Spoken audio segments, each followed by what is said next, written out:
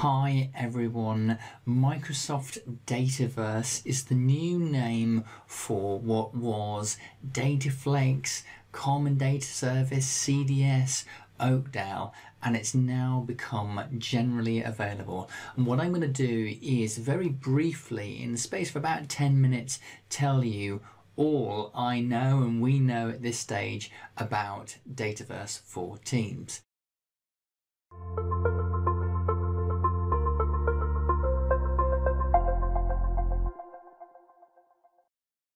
So let's get started on that. What is in the box? Well, as a part of Teams, what you're going to get is you're going to get a database, and in that database, you're going to be able to effectively put apps and Power Automate flows and even chatbots. So there's quite a lot of material there. From a licensing point of view, it's actually really, really simple if you have a Teams license, then you have the right to be able to create Microsoft Dataverse uh, databases effectively, and that means you can make the flows and you can make the apps and, and the chatbots as well. So it's pretty straightforward from that uh, standpoint. Now, what I'm now going to do is I'm going to jump over and show you what the quick start of being able to create a, a Dataverse um, instance within Teams. So here I am, I'm in Microsoft Office, I can click onto Teams, it's going to open an online instance of Teams for me. In fact, what I'm going to do is I'm going to right click on this, I'm going to uninstall this because what I need to show you is how to in install it.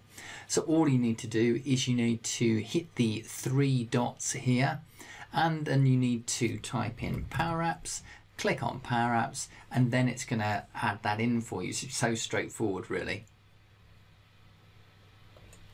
At this point in time, you'll click on Create an App, and then you'll tell it which which team to put it into. And if that team doesn't already have uh, a, uh, a Dataverse uh, environment uh, within it, then it will go and create one. Now I'm going to show you one where I've created one. So I can go to this one here and I can click create and it's going to start creating uh, an app for me because uh, I've already created the environment uh, previously. So it's just going to work through that. I can give the app a name, I can call it test, click save on it and then I can attach the, the various details to, uh, to entities that I've already created make sure you check out the links because I've actually done uh, quite a long video about this entire process so don't expect to see everything about Teams here. Now, if I tried to create an app inside a team that didn't previously have this, then what you would find is that it would actually start to create an environment for you. So I can click on any team and click create, and you'll see that it takes a bit of time. You will actually get an email when it has finished the process. It takes roughly 10 minutes, that sort of uh, time period. Now the interface and navigation of of the experience in Teams is different to what you will be used to. And one thing I will mention is that once you've actually got this icon on the left hand side here, make sure you pin it there because otherwise it will just keep disappearing, which can be uh, a little bit uncomfortable. Now I'm going to navigate to an app that I previously created. I'm going to click see more. Then I can actually click on the environment that I'm interested in and I can click on one of the apps that I previously created. So I'll just click on that. And now I'm in the build experience and you'll see that this is a very similar experience to what you'll find in in uh, the traditional Power Apps experience. You've got different options on the left hand side, you've got the data pane here, you can see the properties on the right hand side, and you've also got uh, the ability to see the properties here as well, as well as the, the functions bar in this place. And you can also preview it over on the right hand side. And then finally, publishing, super easy there. We won't go into that in this stage uh, because we'll, we'll go on, uh, we can, uh, you can look at that in the course itself. What I want to do is make the comparison between that and the traditional Power Apps. So this whole time we've actually been looking at a Power App and you can see it's very, very similar. What you do miss though is you certainly miss this piece here and you miss the, the elements around uh, theming and there are just slightly easier routes to get to some things in this place and also the insert piece is also missing but that may change at some point in the future. So moving back to the traditional uh, Power Apps, uh, the, the Dataverse experience, you can see that it's a bit different. Now the key point to note about Dataverse is you are getting this amazing experience, this entire environment that has a database associated with it. So all of your apps and your Power Automate flows and are all sitting on top of this amazing database and it's a very rich database and although they'll be talking about columns and tables these are pretty amazing uh, features that have uh, that you can start to use and do bear in mind that you can actually upscale this to the full version of Dataverse if you need to in the future. So looking at the app that I previously prepared, if you actually look at this add data, I can add data and all these tables exist within the, within the team's experience. Do bear in mind though, if you actually click off this in any way, you may find that you lose things. If you move back to build, I've just lost where I was in there.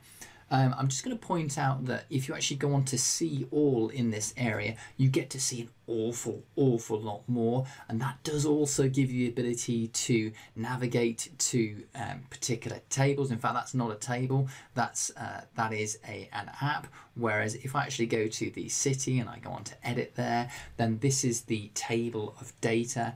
And even when I'm in this experience, I can click edit data and I can start changing the data that's there. That's a pretty simple thing to do.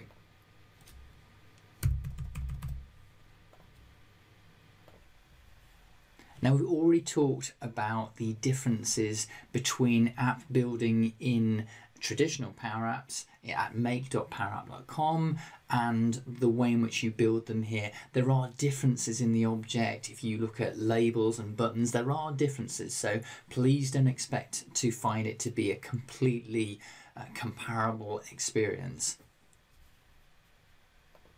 And one of the reasons for that is that the objects that you're getting are more modern objects and they're also formatted in a way that is, at least from a colour perspective, more consistent with the team's experience.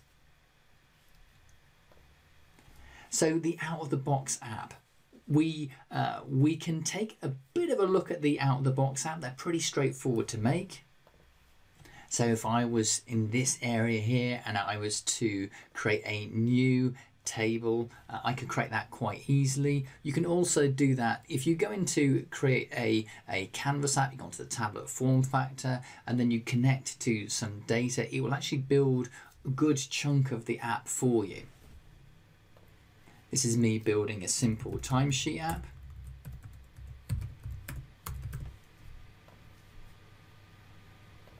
And you can see that I can create a timesheet table. Create the timesheet table. It's going to now give me the ability to create new fields in here. So this is the edit experience, so name, and I can put in time. Notice that there are rich field types that you can use here. So I'm just going to put in a decimal there, uh, click create on that. I'll put Rory and and I'll put a time of say 10. If I click close on that now, what we'll find is the app will start to build itself. And this is a fully working app that you can then publish to teams into one of your channels. So I can just click next on that. I would choose the channel that I want to want to put this into. I can click on general, click on that, uh, plus, and then click save and close. And that is now published into my team. Now you can see that when I'm within my team, I can click on the timesheet tab and it's actually going to open that app for me. And this app is usable by all of the team members by default. Now, one thing to note is that there are some really cool app templates that you can actually make use of. There's and and those are supported by data sources that that are relevant to the ones that you create. Now to get to those, all you need to do is click on your Power Apps icon and then click on the employee ideas um, example here, click on it and it will actually add it into your team. It's super simple. Click on set it up as a tab and then it will just create it for you. It does it super quickly. Just need to click on save on that and then this employee ideas app will be created for me and this is an example of the app working here Now, if you want some more detail on this, I know that April Dunham has done some videos that are more specifically geared towards these apps, doing a bit more of a deep dive on them so that you can understand them a little bit better. And don't forget, this is your app. You can change this app if you wish to. So I'm conscious of time now and I realise we're probably going to go over, but it's probably for a good thing. Permissions are relatively straightforward. They respect the permissions within within uh, teams. So that's owners, members, and guests. And there are different options, and it will become clearer as time goes on as to the granularity of those options. So make sure you sign up for the course in order to find out more on that. So once again, Microsoft Dataverse is really deep. You can build bots in there. I'm not going to go into the process of building a bot. Um, uh, I'll just move across, in fact, just to show you that it is relatively straightforward.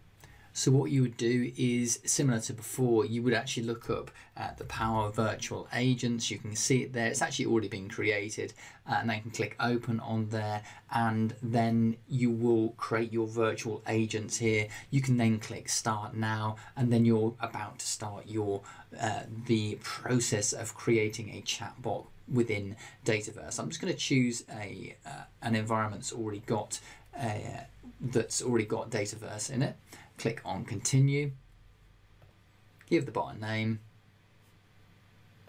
and you can start editing your, uh, your chatbot. Building flows is a similar experience. In fact, it's not too difficult to, to build the flows. I'm not going to go into detail on that, but it's a similar kind of experience. Features coming soon. Uh, we, we know that Power BI will have the ability to look at the data that's in here. Then finally, thinking about limitations, there is a two gigabyte limitation on this, and there's also a 1 million rows limitation on this as well. And that then means that if you wanted to scale up to the pro version of uh, Microsoft Dataverse for Teams, that would be a possibility for you. Finally, how to get started. Well, there's lots of ways to get started. You can actually sign up for the course that I've put together and you'll be able to do that for free. Um, so there's always going to be lots of content in there and that includes live sessions that we do so we can all learn a little bit more about this platform. Thank you for watching this video. I hope you found it useful. And if you're in any doubt about the power of this platform and indeed of Power Apps, then we never left Power Apps at any point in this whole session. This is the real deal and I really hope you get on board with this. Thanks.